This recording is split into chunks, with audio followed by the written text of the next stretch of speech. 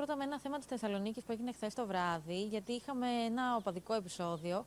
Καθώς ε, εδώ χθες, στην περιοχή που βρισκόμαστε, στην περιοχή των 40 εκκλησιών στη Θεσσαλονίκη, μία ομάδα 20 ατόμων ε, βρισκόταν πάνω σε μηχανές ε, και με, αφού κατέβηκαν με καλυμμένα τα πρόσωπά τους και κρατώντας ρόπαλα, ε, μπήκαν σε ένα κατάστημα εστίασης όπου βρίσκονταν πέντε άτομα ε, οπαδοί του Ηρακλή ε, όπου και τους επιτέθηκαν. Τρεις οι τραυματίες από ε, χθες το βράδυ. Τον έναν το χτύπησαν στο κεφάλι, ε, ελαφρά, και οι άλλοι δύο είχαν χτυπηθεί στα άκρα και οι τρεις μεταφέρθηκαν στο ε, νοσοκομείο Αχέπα στη Θεσσαλονίκη.